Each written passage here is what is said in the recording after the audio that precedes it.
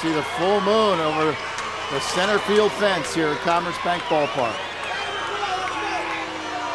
Almost Oh. thrown away. Wow. Odom almost threw the ball away.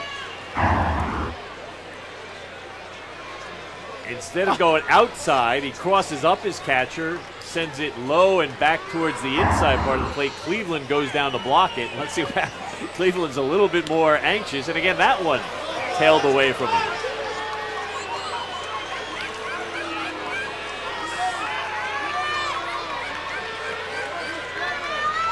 Cleveland saying, please throw it out here.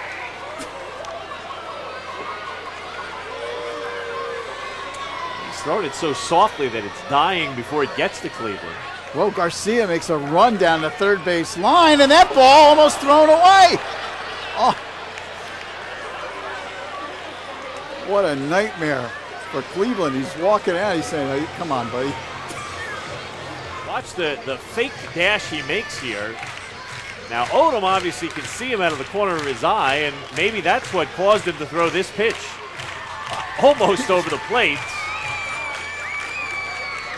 But the big break is that Cleveland was able to just slide back and stop the ball. All right, so Frank Levy headed back to the dugout. First and third for the Patriots. Now they're going to walk Lockwood to load the bases. All right, the, the reasoning is sound. Now you've got the force everywhere.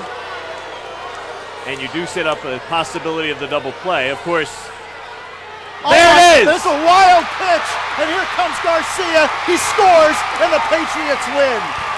Unbelievable. you watch baseball long enough, Lou, and you think you've seen everything. But a wild pitch on an intentional walk to win a ball game. An unbelievable ending to this game.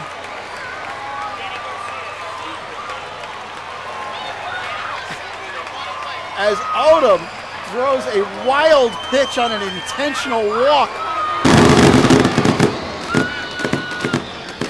There is the wild pitch, and it is so wild it goes behind the batter.